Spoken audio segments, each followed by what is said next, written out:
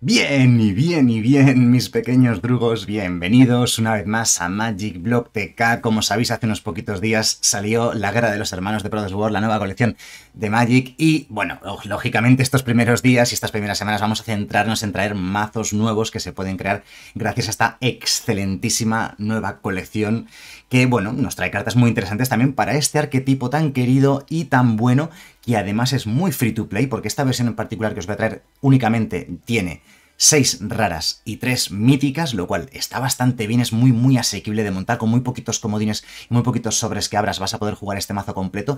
Y de todas maneras tranquilos porque en los próximos días pienso traer más versiones de mazos free to play para todos los que queréis jugar sin tener que meter dinero en el juego, que bueno, hay cositas interesantes como iréis viendo. Bueno, eh, ¿qué tiene de novedoso o qué tiene de especial esta monored nueva?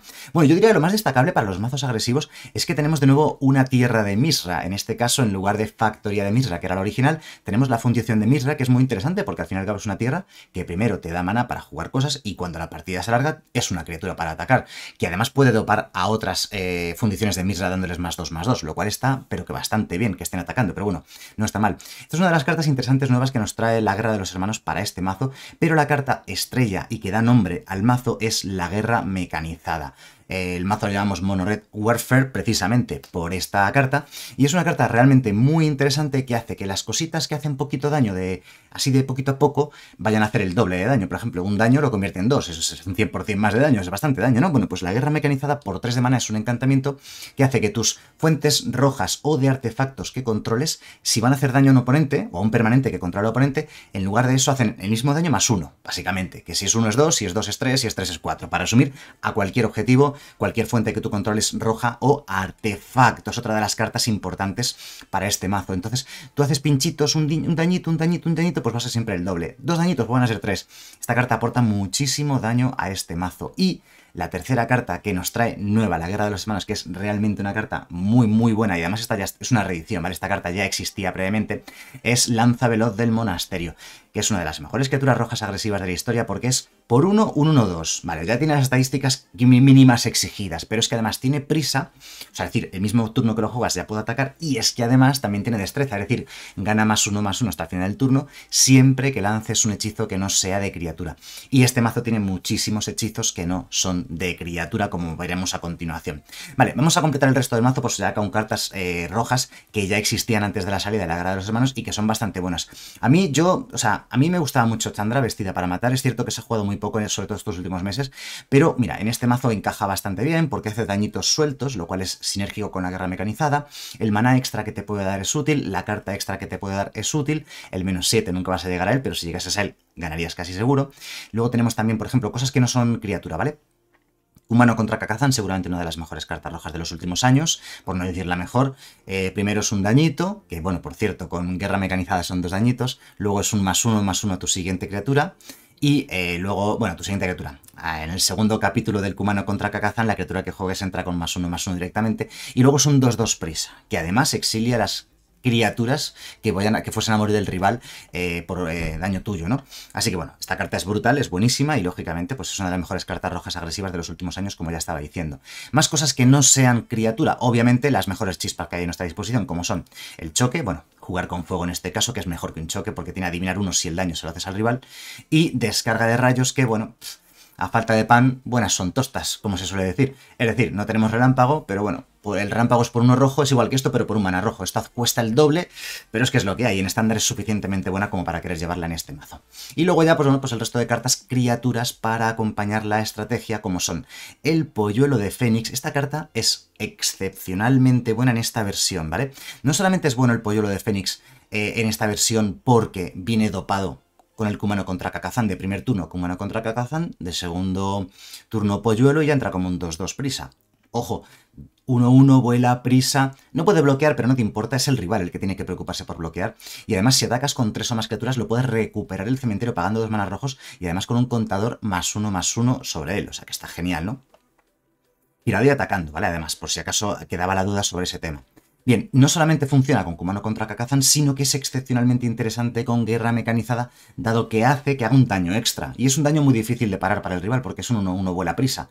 Va a entrar pegando, va a entrar volando, por tanto tiene evasión, va a ser difícil de bloquear, ese tipo de cosas, ¿no? Seguimos con Sibarita de Voldanen. A ver, aquí, el mazo tiene que jugar cartas eh, baratitas que le permitan, digamos, eh, tener presencia en mesa desde el principio para poder empezar a meter presión al rival y también aprovechar cosas como guerra mecanizada. Este bicho, según lo juegas, hace un daño al rival, es un 1-1, no está mal, solamente cuesta mana y además te pone una ficha de sangre que luego más adelante puedes utilizar para descartar una tierra que te sobre y robar otra carta. A ver si encuentras chicha, a ver si encuentras carnaza. O sea, está muy bien, realmente funciona. Y eh, instigadora errada que evita que el rival pueda bloquear fácilmente a tus criaturas. Por 2 es un 3-1, eliges una criatura del rival cuando ataques con instigadora errada de fuerza menor que la fuerza de instigado errada, o sea, tiene que ser fuerza 2 o 1 o 0, y esa criatura no va a poder bloquear. Es cierto que puedes dopar esta instigada errada, pero cuesta 5 de mana como mínimo en este mazo. Vale, va a costar 5 de mana en este mazo básicamente porque es 6 y uno menos por cada tipo de tierra básica que controles. Como solamente tienes montañas, pues va a ser 5 de mana para dar más 2 más 2 a esa instigadora y que por tanto puedas hacer que no bloqueen criaturas más grandes del rival. Pero es complicado eso, o sea, es un 3-1 por 2 básicamente, difícil de bloquear. Hay una carta que he dejado para el final, ¿vale? Después de hablar de las criaturas y es este impulso temerario, que es una carta recursiva que recuerda un poquito al queridísimo Iluminar el escenario que ya jugábamos hace tiempo, de la Guerra de la Chispa. Fijaros, de la Guerra de la Chispa teníamos en el escenario y ahora en la Guerra de los Hermanos, bueno, esta carta es de Innistrad, eh, Compromiso Escarlata, pero bueno, es ahora cuando se empieza a ver eh, un poquito esta carta, porque en este mazo funciona bien, dado que es primero un hechizo que no es de criatura, o sea, tiene destreza, por tanto, y te va a dar un poquito más de fuel, un poquito más de combustible para que la estrategia no se quede estancada a largo plazo. Es una carta bastante interesante para este mazo y como podéis ver tenemos ventaja de cartas. En el impulso temerario, ventaja de cartas en la chandra, así que eh, cuando un mazo rojo tiene ventaja de cartas, se hace un mazo muy, pero que muy interesante. Ya sabéis, como siempre, debajo del vídeo, en la descripción, os dejo el listado completo de este mazo para que lo podáis exportar a Magic Arena y jugarlo y probarlo. Mazo recomendado. Traeré versión free to play de Mono Red en los próximos días, de Mono Blue, Mono White, algunos mazos, mono black, que sean competitivos, que sean decentes. Es decir, no voy a traer un mazo. Eh, no o sea, no se considera, o yo no considero al menos un mazo free to play, coger este mazo y quitarle las buenas.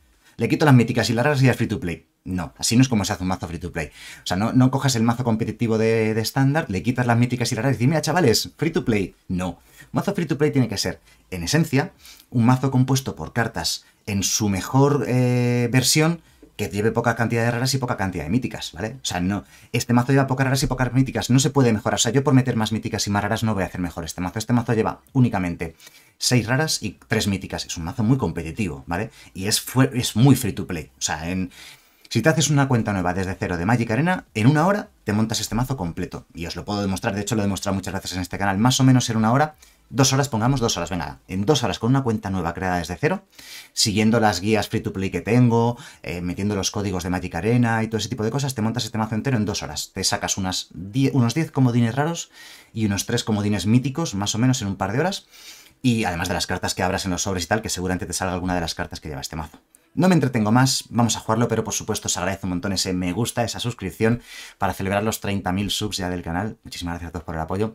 También vamos a mm, Vamos a, ver si eh, veo ahí grandes comentarios debajo del vídeo. Eh, comentarios de lo que opinéis del mazo, del estado del metajuego, de estándar, de las colecciones, de todos estos asuntos de los días recientes que yo los leo todos.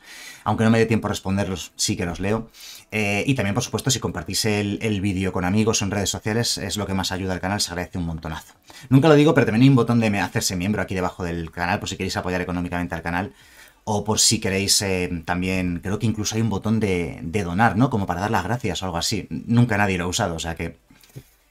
Diréis, wow, todo el mundo seguro que está regalando el dinero. Shut up and take my money. Pues no, nunca nadie ha usado el botón ese de gracias, o cómo se dice, no sé cómo se llama. Bueno, vamos allá. Vamos con la primera partida y jugamos contra Mudito.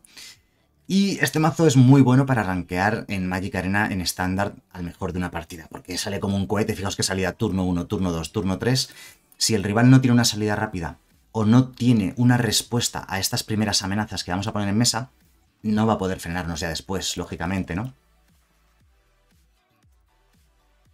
Vale, o sea, tenemos, es que tenemos, yo diría, la mano perfecta. Criatura de primer turno, criatura de segundo turno, guerra mecanizada de tercero y luego ventaja de cartas para cuando nos quedemos sin combustible. La voladora para muchos mazos es un problema porque no tienen forma de frenarla, ¿vale? Es una roja negra, posiblemente midrange, empieza a hacerse Oldred y cosas de esas. Seoldred es un problema para nosotros, pero la idea sería intentar pegar más que él de las vidas que él pueda ganar o de lo que nos pueda frenar. Vale, vamos a jugar la fundición de Misra. Intentadla jugar lo antes posible para tenerla disponible más adelante para atacar, ¿vale? Porque como el primer turno que la juegas tiene Mario de invocación, no puede atacar. Es posible que nos mate la instigadora, ¿no? no puede atacar el turno que la juegas. Entonces tienes que eh, jugarla lo antes posible para poder activarla el siguiente turno y que ataque como criatura, ¿no? Ese destrozar me ha dolido, sinceramente. Y, por cierto, una cosa importante. Esta fundición de... Las tierras son todas incoloras, ¿vale? Las tierras no tienen color propio. Pero esta tierra en particular es un artefacto. Y la guerra mecanizada funciona con artefactos. Así que esta fundición de mirra haría un daño extra, haría 3 de daño, ¿vale? Vale, ¿qué hacemos este turno? ¿Nos vamos a por impulso temerario? Seguramente impulso temerario sea lo más inteligente, ¿vale? Eh, hemos robado demasiadas tierras, la verdad. O sea, es decir, atacar con la fundición de Misra no me acaba de convencer del todo. Uh, el rival juega el mazo de Misra. Hablando de Misras y de fundiciones. Dañar dos veces, no podemos atacar con la fundición de Misra, así que vamos a robar. Si nos robamos una chispita para matar este dragoncito, lo agradeceríamos. Pues no, no hemos robado chispita, sino que hemos robado otro impulso temerario. Bien, vamos a jugar tierra de turno, vamos a hacer Sibarita de Voldarin. Nos viene de lujo, la verdad, este comienzo de... este robo, vamos, digamos. Y ya el siguiente turno haremos el, impulso temerario. Por cierto, nos viene genial, como digo, esta Sibarita de Voldaren. Primero porque ha hecho dos daños al entrar en juego. Y segundo porque nos ha puesto la, la, ficha de sangre que podemos utilizar para descartarnos una de estas tierras que nos sobra y robar otra carta distinta. Ojo que esto tiene dañar dos veces. No creo que el rival pueda doparlo. Si nos hace Misra ahora, el nuevo Misra, el bueno, el que combina con este dragón, porque este dragón tiene lo de combinar cartas. Si nos hace el Misra, que no lo ha hecho afortunadamente, eh, el Misra creo que hace al atacar con criaturas, sean cuales sean, drenar vida de X, donde X es el número de, criaturas atacantes. Vale, segundo dragoncito, ¿me preocupa un poco? Sí, un poco. Pero estoy aliviado porque al menos no hay Misra en, en juego, que es lo que es realmente peligroso. Uf, segunda guerra mecanizada. Bien, vamos a empezar con esto. Voy a girar esta tierra porque no la voy a utilizar de momento y quiero tener mana rojo disponible por lo que pueda pasar. Vamos a empezar con el impulso temerario a ver si nos da una tierra para jugar esa tierra del impulso temerario. Pues sí nos la ha dado, sí. Jugamos tierra y yo creo que lo más inteligente sería hacer una segunda guerra mecanizada para que el polluelo pues pegue un poquitito más. Vale, tenemos un problema. Y el problema es que estos bichos, eh, no sé por qué no atacó antes el rival, tendría que haber atacado, pegan cuatro cada uno, ¿vale? Porque pegan dos, pero tienen dañar dos veces. es que la carta es buena, es una buena carta agresiva, realmente es peligrosa. Ya si la puedes dopar, pues mejor todavía, ¿no? Si ataca y nos pega de 8, me va a doler un poquitito. Si pega solo de 4, me vale. El rival está siendo demasiado cobarde viendo que le quedan 9 vidas. Ah, lo ha jugado con... Lo ha jugado con irrupción.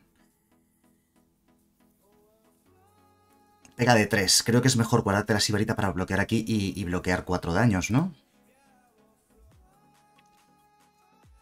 Vale, voy a bloquear porque tenemos un pequeño truco que es esta Sokenzan que él no se la va a esperar. Bloqueamos, no recibimos nada de daño y seguimos con 20, que como digo, estos bichos son muy peligrosos. Y el polluelo está pegando de 3 en 3, lo cual es bastante gracioso. Es bueno el requisador de remachadores, como estáis viendo. Vale, Sibarita de Voldaren. Bien, entonces. El rival no... Bueno, tiene una ficha de tesoro, pero no creo que vaya a hacer nada, ¿no? Vale, atacamos. Le quedan 6, le quedan 3, el siguiente turno ganamos volando. Sibarita de Voldaren que hace dos daños, como se estaba comentando. Juego tierra de turno. ¿Éramos letales? No, no éramos letales. No éramos letales. Que teníamos dos, dos guerras mecanizadas. Hacía tres daños, no dos. Era letal. Pensaba que se quedaba uno.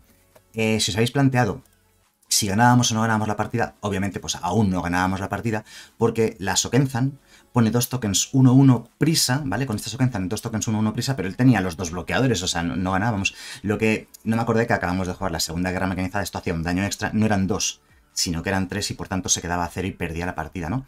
Así que, bueno, para comenzar, bien, el rival no ha hecho nada, también es cierto, diréis, ah, pero es que el rival no ha jugado nada y encima ha salido tú y ha salido perfecto. Es cierto. ¿Vale?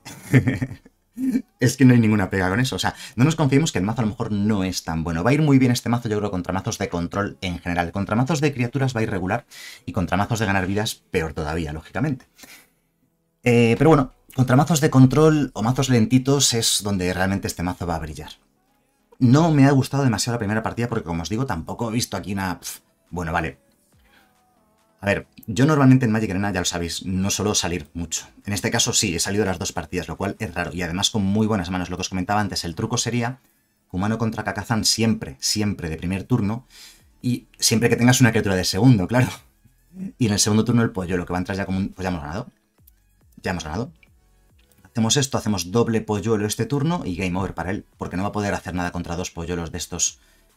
Ya si robamos la guerra mecanizada, se acabó. Se va a rendir seguramente. O sea, va a ver que contra esto no va a poder. Y es que entra el 2-2 prisa y además tenemos otro daño de aquí, más la sibarita, más la descarga de rayos adicional. El rival juega mazo pentacolor. Vale. Bien, obviamente eh, vamos a hacer Chandra y vamos a jugar la sibarita, sí. Bah, vaya, vaya, vaya. Se va a rendir cuando hagamos Chandra y sibarita, se va a rendir, por supuesto. Aquí pilla 5 de daño que se come todo, jugamos Chandra, nos da maná, jugamos la sibarita y adiós. Vale, esta partida sí que ha sido absolutamente absurda. O sea, es decir, eh, el rival no ha podido hacer nada, ya ha perdido ninguna carta ahora mismo en estándar, yo diría ni en Magic, que le pudiese hacer remontar esta partida. Agricultura ambiciosa, se acabó. Se acabó porque le quedan 9 y de hecho con esta chispa de 3 daños ya somos letales. 3 y 1, 4 y 3, 7... Bueno, no, no, aún no somos letales, puedo bloquear aquí y tal y no lo mataríamos todavía. ¡Ojo! Ganamos tres vidas. Nos ha exiliado mm, el nuevo pacto Exile. Vale, vale, no pasa nada, tranquilos. Vamos a volver a sacar mana, por aquí. Nos hemos top dequeado, tenemos mucha suerte. Otro Fénixcito. Ojo, Fénixcito, ¿eh? Atacamos con todo, por tanto, el rival se nos queda únicamente a 6 de vida, supongo, porque va a bloquear a la Sibarita y supongo que va a bloquear al grabado humano, más estos tres daños y se nos queda a tres el rival. Y seguimos teniendo una Chandra en mesa ya con cinco contadores, ¿no? O sea que hace el doble block. Con lo cual nos deja una criatura más viva en mesa. Vale, perfecto. A ver, hemos salido nosotros y hemos hecho la mejor salida posible. El rival ha salido un pelín lento, así que hemos podido machacarlo, pero bastante, de una forma bastante turbia, ¿no? Bastante injusta, podríamos decir, para el rival. Bueno, entonces ya veis, es un mazo súper rápido, sencillo de jugar, lleva muy poquitas raras y muy poquitas míticas y os va a llevar a mítico. O sea, porque eh, aunque no es el mejor mazo del formato, yo lo recomiendo jugar, ¿vale? Pero no es el mejor mazo del formato. Aunque no va a ganar el 100% de las partidas, tendrá un win rate favorable. Pongamos 55% de win rate en media, pongamos. Y eso es suficiente para que, bueno, si eres más o menos constante y más o menos juegas a un nivel decente, pues acabes llegando a mítico rápidamente. Es un mazo muy recomendado. Sobre todo, fijaos, llevamos dos partidas, esta es la tercera partida, hemos hecho deck tech largo y además no llevamos ni 17 minutos de vídeo. ¡Eh! Por fin hace acto de presencia la lanza veloz del monasterio, con una mano llena, y volvemos a salir. ¿Está roto esto? Ayer hice un directo y en tres horas de directo creo que salí cuatro veces, en tres horas. Pero es que antes de ayer hice un directo y en tres horas no salimos ni una sola vez. Así que es un comienzo un poco extraño. Vale, vamos a comenzar matando ese bicho antes de que nos genere más problemas. ¡Uah, vaya robo! Diréis, ¿estás teniendo mucha suerte? Sí, yo creo que estamos teniendo un poquito de suerte. El mazo no, va, os va a funcionar siempre a este nivel de locura, ¿no? Este es un nivel de locura que yo creo que, que no va a ocurrir siempre. De hecho, juegue lo que juegue, ahora veremos qué hacemos, pero posiblemente lo matemos. Y estos bichos meten presión, ¿eh? Como empieces a jugar uno o dos hechizos por turno, y el hecho de que entren con prisa. Este es lo que decía. Eh, hemos ganado las primeras dos partidas con los pollos y esta, segunda, esta tercera partida posiblemente si la ganamos, la ganemos gracias a, los monjes estos, ¿no? Nos falta mana. Vamos a hacer el impulso temerario a ver si robamos la tierra que necesitamos. Y también además los dos lanzaveloces crecen. Vale, hemos robado la tierra que necesitamos, así que estupendo. La juego, para que no se me olvide. Y nos va a matar uno de los dos, ¿vale? Pierde dos vidas y le pasan otros dos de daño. Qué pena no haber tenido esa tierra en mano para hacer la guerra mecanizada porque habría sido más daño, ¿no? ¿Vale? Tres de mana para él, me da un poco de miedo. Este tipo de bichos no es demasiado peligroso, la verdad, para nosotros.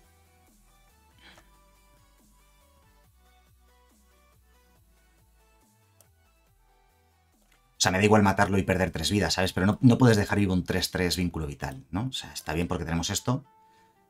Perdemos Rada, ¿eh? La rada la perdemos, pero bueno, no pasa nada. Perdemos tres vidas para hacer eh, objetivo al engulle carne espirexiano. Y como digo, es una lástima el haber perdido esta rada que no hemos podido jugar, no nos convenía, ¿no? Vale, cuatro de mana. Sheoldred, tenemos un problema. ¿Cómo ganamos a este Sheoldred? Aquí es donde ya sí que se nos complica de verdad la cosa. Porque va a ganar dos vidas por turno, ¿de acuerdo?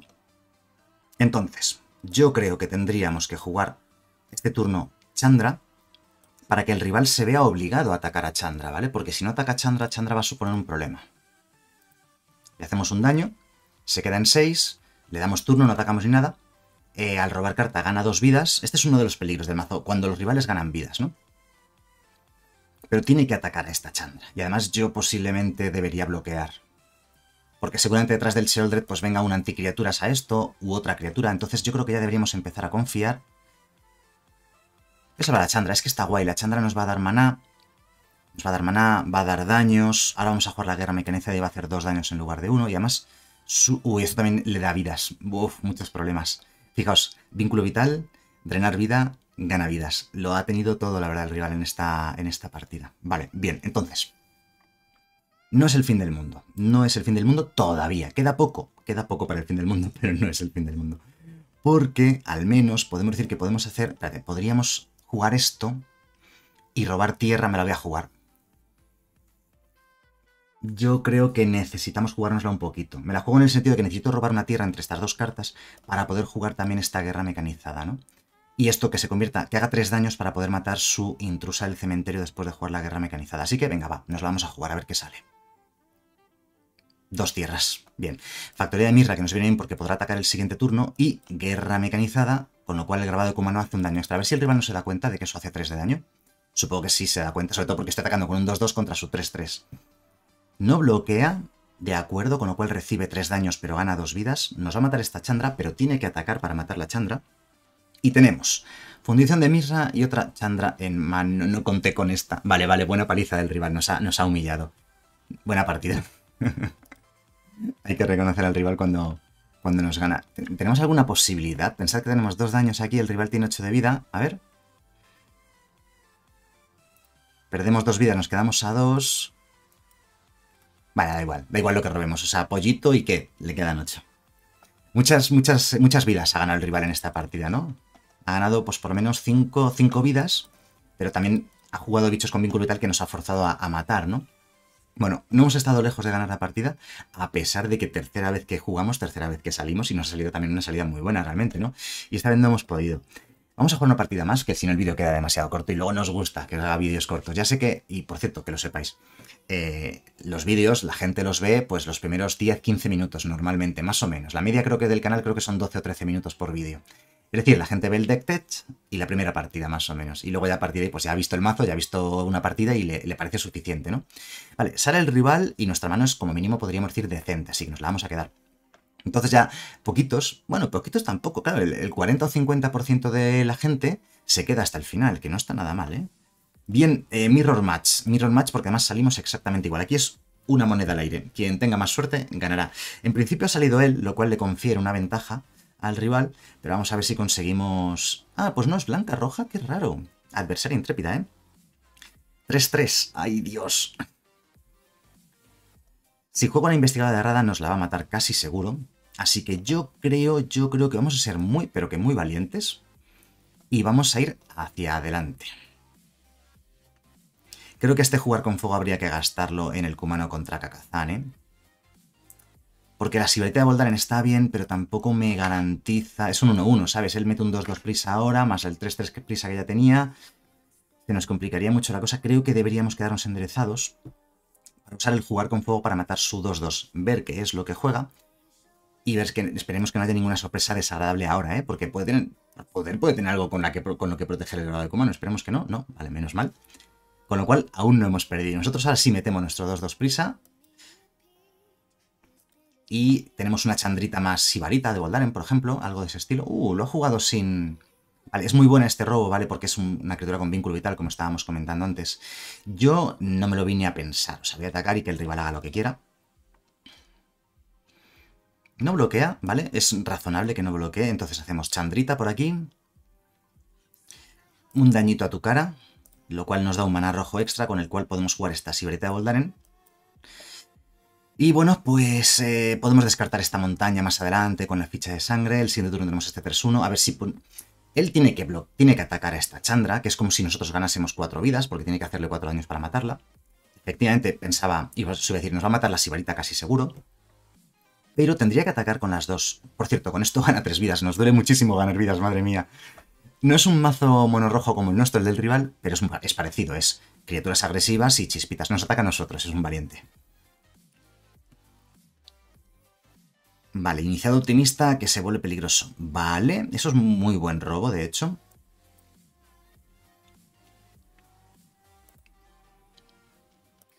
Yo voy a seguir atacando y le vamos a tirar una descarga de rayos a esta cosa. Eh, el iniciado optimista lo podemos bloquear con la investigadora de errada, ¿vale? Otro dañito a tu cara. Y tiene mala pinta, sí, tiene mala pinta la cosa. Vamos con la instigadora de errada y el objetivo, el plan... Podrían haber atacado con las dos, diréis. Pero, que me quedo... O sea, la voladora no puedo bloquear. ¿Y el 2-2 qué? ¿Cómo bloqueas tú ahí el 2-2? Ese nos complica mucho la cosa. Cátaro brutal. Y quita el bloqueador de medio, nos atacará a nosotros con todo, supongo. Nos vamos a quedar muy justitos. Pero lo que él no espera es mi astucia, que es matarle ese cátaro brutal Y yo diría que estamos más forzados a bloquear al que más daño hace. Esto el siguiente turno... Es que el problema es que este inicio optimista volvería a crecer el siguiente turno si ataca con una de estas dos. Ese es el, gran, el gran problema aquí. Y tres vidas que va a ganar garantizadas.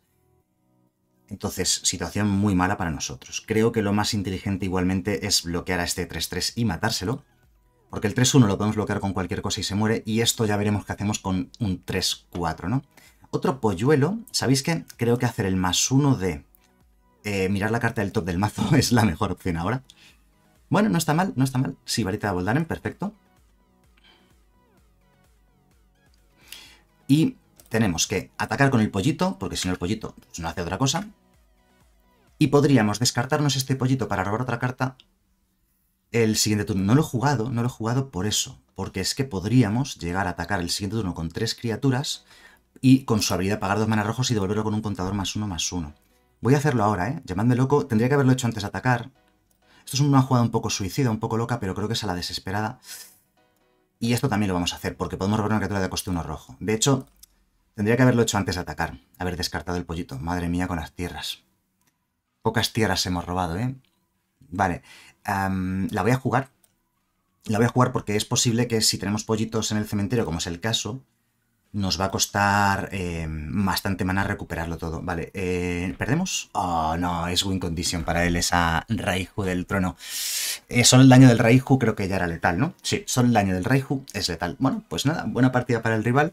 Otro rival que nos ha ganado y como podéis ver el mazo pues no es invencible. Hemos ganado las dos primeras, hemos perdido las dos segundas eh, a pesar de que nos han salido bastante bien todas las partidas. Y bueno, pues ya veis, es un mazo sobre todo muy interesante. Si os gusta la estrategia, el, bueno, la estrategia, la estrategia de este mazo, quiero decir, si os gusta el arquetipo, está bastante bien, os va a llevar a mítico, ¿eh? Ya digo que eh, los pairings que hemos tenido pues tampoco han sido muy favorables. Los mazos así de control y más lentos, más pesaditos, que no ganen vidas, que son la mayoría del formato, te favorecen bastante. Y a poquito que pilléis una buena racha de victorias, os va a llevar hasta mítico. Y sobre todo, es súper free to play. O sea, tres míticas y seis raras es un regalo hoy en día en Magic Arena. Así que nada más, espero que el vídeo os haya gustado y nos vemos en el siguiente. Hasta luego.